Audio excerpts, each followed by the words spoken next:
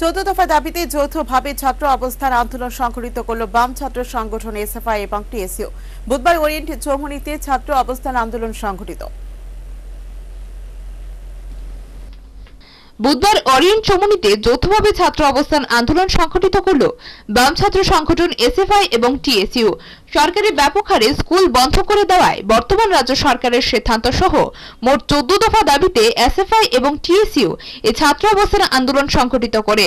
তিন ঘণ্টার এই ছাত্র অবস্থানে বিরোধী দলনেতা মানিক সরকার সহ টিটিএএডিসির মুখ্য কার্যনির্বাহী সদস্য রাধাচরণ দেববর্মা প্রমুখ বক্তা হিসেবে উপস্থিত ছিলেন। নিজ ভাষণে রাধাচরণ দেববর্মা বলেন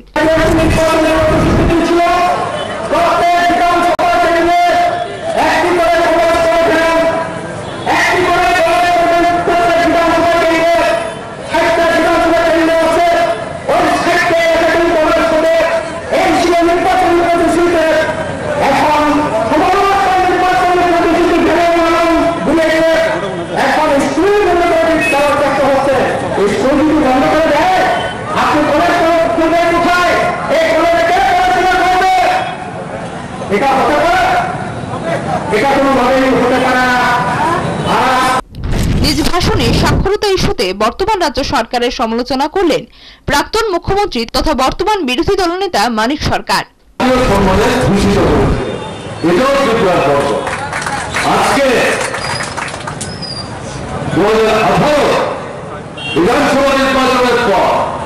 নতুন সরকার ত্রিপুরার মানুষের বুকের উপর পাথর চাপার মতো বসার পর এই সাক্ষরতা আন্দোলন দারুণভাবে আক্রান্ত। আপনারা যারা এসেছেন, ছাত্র বন্ধুরা, দূর থেকে যারা শুনছেন, এই অবস্থানের স্লোগান এবং বক্তব্য, যারা শিক্ষা কর্মী, তাদের কাছে যদি জিজ্ঞেস করি তারা বলতে পারবেন গ্রামের গ্রাম ওয়ার্ডগুলোতে সন্ধ্যার বয়স্ক মানুষ যারা সারাদিন কাজ করেন দারিদ্রের কষাঘাতে জর্জরিত ছিলেন সাক্ষরতা অর্জন করতে পারেননি। তাদেরকে নিয়ে এসে স্বাক্ষর করার জন্য যে উদ্যম, গত পঁচিশ তিরিশ বছর যাব ধারাবাহিকতা বজায় রেখে চলছিল ত্রিপুরায়, আজকে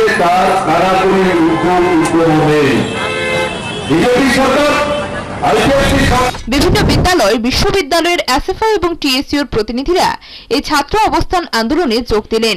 এই ছাত্র অবস্থান আন্দোলনকে ঘিরে সংশ্লিষ্ট ছাত্রছাত্রীদের মধ্যে ব্যাপক উৎসাহ উদ্দীপনা পরিলক্ষিত হয়। নিজস্ব প্রতিনিধি রিপোর্ট হালাবুল।